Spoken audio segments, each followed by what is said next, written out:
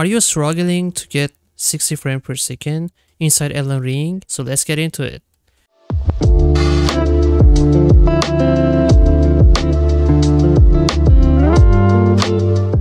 Hello everyone, my name is ICEANCE and welcome to another tutorial. In this tutorial, I'm going to show you the best settings for Elden Ring inside the game and actually inside Windows and how to make sure that the game is working really optimized. First of all, we have to jump our desktop. Alright, we are on our desktop. Uh, as you can see, my NVIDIA control panel is open. First of all, jump into your NVIDIA control panel if you have NVIDIA, but if you're uh, using AMD, uh, as you can see on this side of the screen shows all the settings that you have to apply for AMD Radeon settings or Radeon control panel or maybe uh, Radeon Adrenalin yeah Adrenaline settings that you can see in here. Just pause the video copy all these settings and apply it to your control panel. And for NVIDIA control panel just pause the video copy to right side of the screen. As you can see image sharpening turn off ambient occlusion turn off anisotropic filtering turn off, FXAA off, AA mode, application control, AA transparency off, background maximum frame rate, put it on uh, 20 or 30, whatever you want it because uh, maybe sometimes you want to alt tab from the game. And if you don't put the number in here the game actually in the background take all your resources.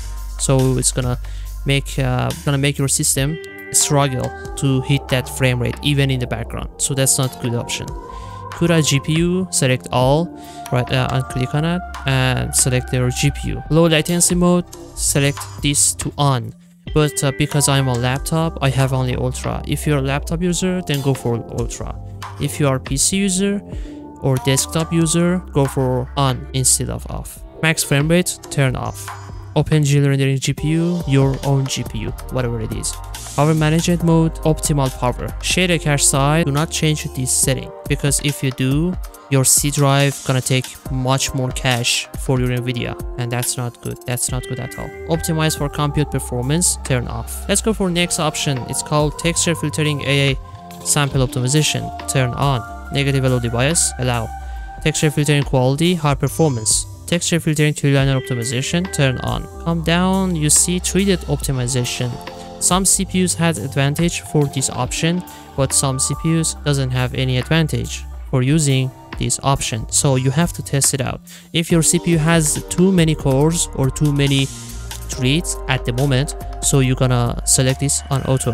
But if you if you are on low-end CPU or maybe two core or four cores like that, just put it on off and test it yourself.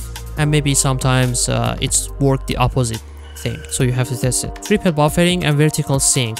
I'm using it in all of my games so it doesn't matter which game is it but uh, if you want to hit more than 60 frames per second turn it off. But if you want to get solid 60 frames per second so turn it on. And uh, if you turned on vertical sync it says uh, on not adaptive or fast. Maybe you can go with fast if if you want to but uh, it will take much more resources of your graphic card. So watch for it when you're using it. Triple buffering turn on when using VSync. If you don't use VSync turn off. Virtual reality pre-rendered frame I'm gonna put one for competitive games like CS:GO or any other games but in Elden Ring it's not comp uh, it's not it's not actually a competitive game so i'm gonna put number two or three even if it's possible. So uh, that's it. That's it for nvidia settings. Let's close this window. All right next thing you see on the left side of the screen is the best game setting that you can find. Just pause the video copy all these settings inside your game. All right let's go for next thing. Next thing is make sure that our windows is optimized carefully. So uh, because you don't want to mess your windows and you don't want to mess with your system performance. Because if you do um, maybe you got bottleneck in CPU or stuff like that. And that's not good actually. So let's get into it. First of all you have to make sure that our windows is updated.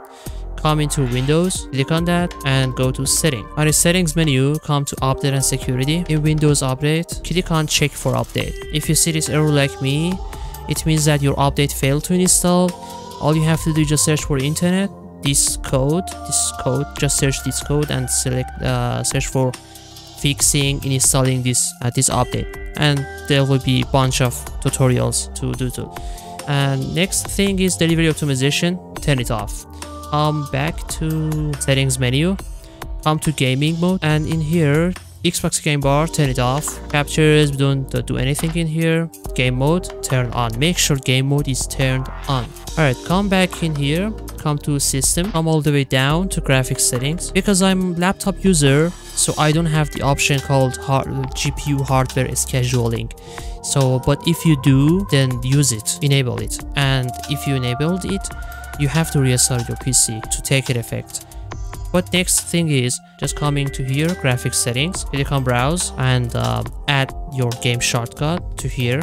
Click on that, go to option and put high performance, not power saving or let windows. Power, uh, just put high performance and click on save. That's done. Alright, next thing is finding the game shortcut like this game right click on it and go to open file location or maybe if it doesn't have open file location go to that direction of the game that you install it and if you install it on via steam it would be this pc your c drive your program file and your steam folder steam apps common and etc but uh, if you have like me if you have subfolder like me it's called steam library steam apps common and whatever the game it is come all the way down until you find the game.exe file that has most size that you can see. For example right here we have two things because rainbow six also has Vulkan mode so it's uh, it's normal to have a two high size file. But for elden ring you will see two files. One of them has biggest size. So right click on it go to properties go to compatibility tab and come here until you see disable full screen optimization turn on run program as administrator turn on change high dpi setting and click on this and system enhance, override high dpi scaling behavior system enhance. Click ok and ok. That's done. Also make sure that you close background applications to make sure that the game can maintain more RAM to maintain the best frame rates as possible.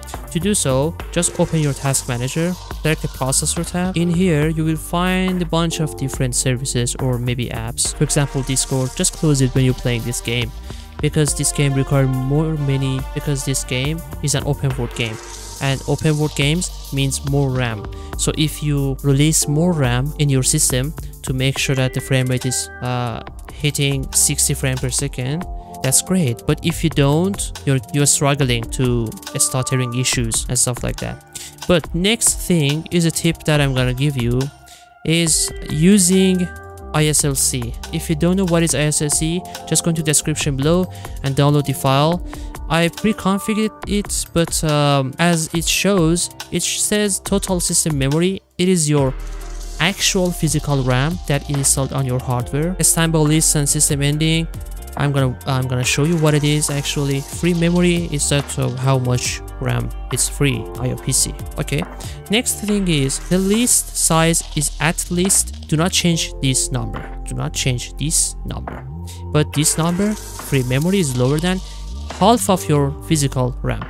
If you have 16 gigabytes of RAM, it would be 8000 megabyte. And it doesn't matter actually to put that uh, like to put that actual number. Just put 8000 megabytes and that's done. That's done.